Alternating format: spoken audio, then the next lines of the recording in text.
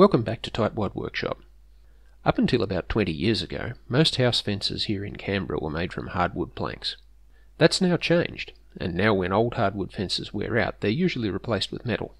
About a year ago, some of my neighbours were replacing their fence, so I salvaged the hardwood palings. I was originally just going to burn them for firewood, but once Mrs. Tightwad showed off her rhubarb harvest on Facebook, suddenly I had orders to make six more planter boxes. This kind of box encourages the rhubarb to grow longer stems and also holds the stems up out of the dirt. Since I'm making a lot of these boxes, I'll use my table saw to cut the pieces.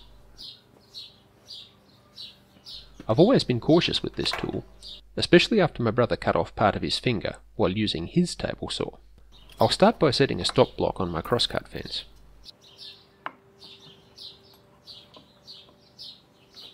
Now let's plug in the saw and get to work. First switch on the dust collector, then switch on the saw.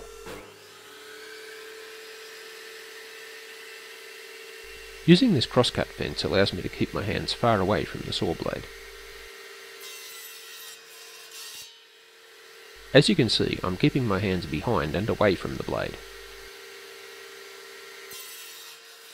You should never reach across the blade for any reason.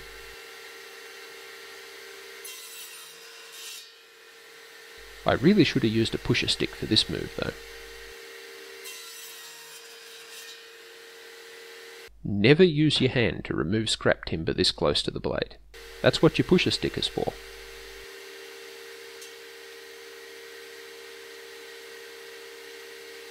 I'll just quickly cut this next board to show proper use of the pusher stick.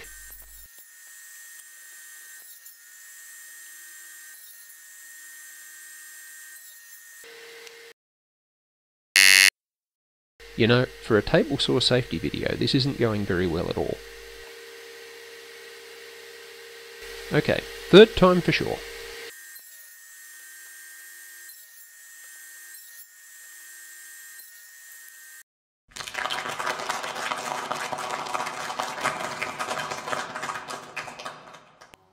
Once I had the pieces cut out for the sides, I marked my workbench with the length needed for the corner blocks. This made the process of marking and cutting the 24 corner blocks much faster.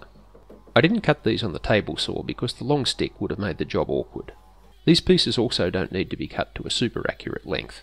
Within 2 to 3 millimeters, about 1 8 inch, is plenty good enough.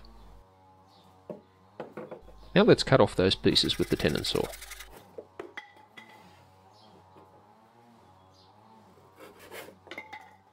Now that we've finished the cutting, we can start on the assembly. I'm setting up a couple of boards on the workbench top as an alignment jig. This will make assembling each side panel much faster.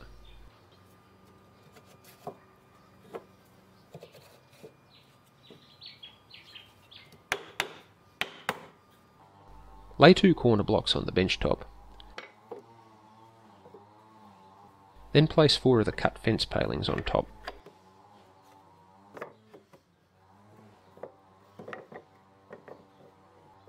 Press them up against the alignment jig, then drill pilot holes through their ends to avoid splitting the wood. Now we'll hammer our nails in about halfway. I'm only putting the nails in halfway because I don't want to nail the panel to the workbench.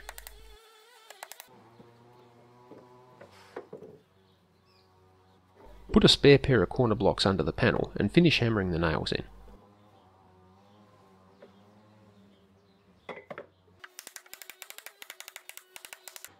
Finally, turn the panel over and clinch down the nail ends flat with your hammer.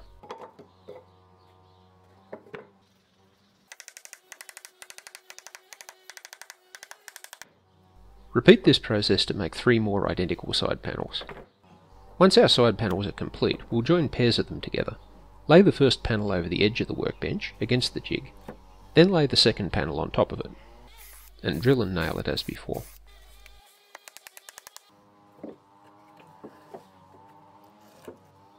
I'll use a couple of spare corner blocks to protect the workbench top here as well. These nail ends will also need to be clinched over, like we did before. Once you've assembled the two halves of your box, fit them together like this. Drill holes through the palings into the corner blocks, then hammer in the nails. It's hard to reach inside the box with the hammer to clinch these nails, so I'm using the few short ones I had available for this part.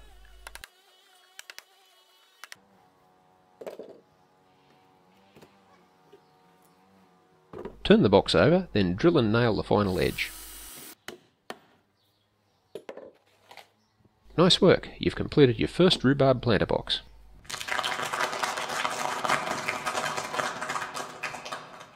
Took a little longer to finish all six, but at the end of the day all the customers were satisfied. That's all for now. Thanks for watching. Tightwad Workshop is filmed in front of a live studio audience.